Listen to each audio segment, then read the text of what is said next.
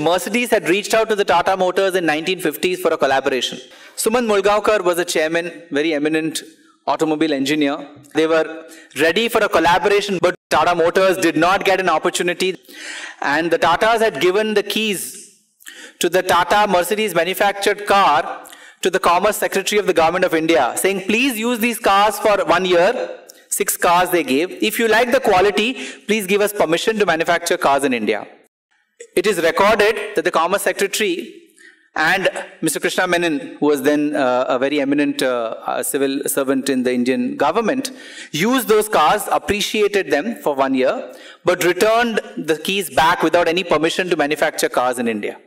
30 years later, again, there was a collaboration possible with the Honda. Again, the government, then it was, I think, the Rajiv Gandhi government, for some legal reason, did not give permission.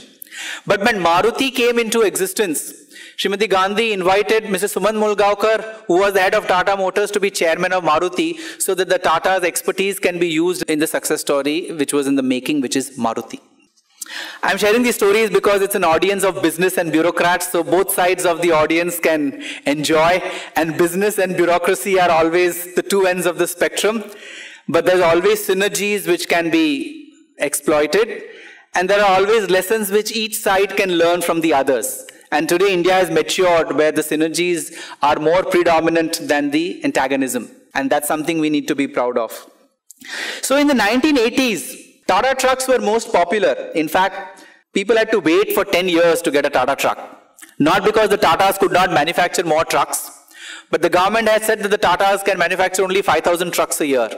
Even if they want to manufacture more, they cannot manufacture, even though there is a 10 year waiting we do not want you to manufacture more trucks. I mean, the millennials should know why India did not succeed because it's not that we didn't have the capacity, but we were experimenting with a form of economic development which did not succeed even in the star performer of the USSR on which our economy was kind of modeled. When the USSR collapsed, we realized that this is not a model which will sustain itself. At that time, trucks had what was called the non-synchronous gearbox. It was very difficult to change the gear. Sumant Moolgaokar wanted to introduce synchronous gearboxes, but they were not made in India. They had to be imported. So his senior committee said, no sir, we don't want to import. The customer is not going to pay for synchronous gearboxes. We will have to bear the cost. We don't want to do that. The final word is always with the boss, whether it's business or bureaucracy. So Sumant Moolgaokar chaired that committee and said, how many of you have driven a truck for three days. Nobody raised their hands. Okay, one day, have you driven a truck for one day? They said, no, sir. You should drive a truck for one day to know why I want to introduce synchronous gearboxes because that truck driver is driving that truck 365 days a year, 12 hours a day on the rugged roads and the ghats, on the highways and the inner ways. And I want to make his, his experience of driving a Tata truck far more enjoyable. He may not pay me the additional expense I indulge in, but customer affection is what we should focus on. Today, the word customer affection has come into the management jargon. 40 years earlier, Sumant Moolgaokar was talking about customer affection. In 1970s, the Tata trucks were in short supply and there was a 40,000 premium in the market. Again, Sumant Moolgaokar's colleague said that let's raise the prices because we are not getting permission to manufacture more trucks, at least let's raise the prices. And Moolgaokar said, profits should come from productivity and not by raising prices in a favorable market.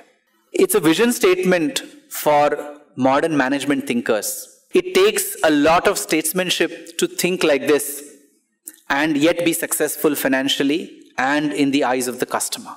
I guess these are the lessons in customer development, product development, pricing development, the core objectives of business We've all grown up studying great thinkers, Michael Porter, Philip Kotler, all the Western thinkers.